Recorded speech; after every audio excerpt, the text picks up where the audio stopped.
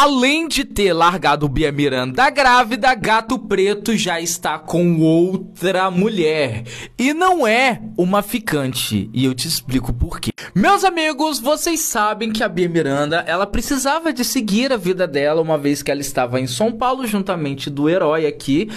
E, gente, eles tiveram uma discussão, terminaram, nem ela sabia por que havia terminado. Ele passou a noite no, no motel com uma, com uma garota, sabe lá Deus quem é essa garota. E a Bia Miranda, que ficou no prédio, que ela voltou, ela havia esquecido e deixado algumas roupas dentro do carro do gato preto, juntamente da sua identidade. Ela precisava de sair dali. Não era por uma questão da roupa, era por causa da identidade e também da maquiagem, que foi algo que ela mesmo questionou bastante. Sendo assim, gente, Gato Preto, depois ele ter acordado de manhã, de ter xingado o Buarque, de ter falado com um monte de gente com relação às tretas dele e o fato dele ter terminado com a Bia Miranda, ele até falou que o Buarque é bunda mole, que tava o quê? É cinco meses sem dar lá dentro. E é que você me entende, né, maior de 21 anos.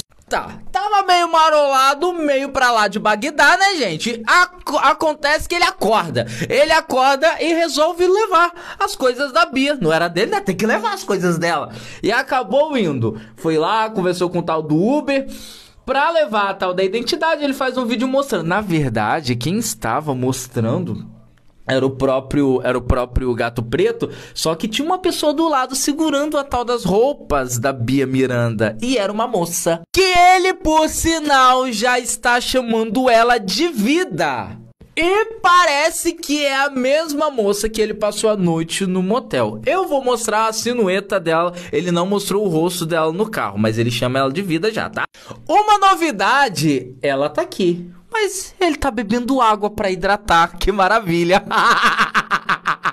e essa daqui é a sinueta da bonita, gente. Cabelão liso, bem a cara de Bia Miranda 2, né? Se é que a outra lá que ele não pagava a pensão da criança também tem a cara da Bia Miranda. Eu acho elas tão parecidas, só muda de rosto. E agora que talvez a Bia esteja grávida?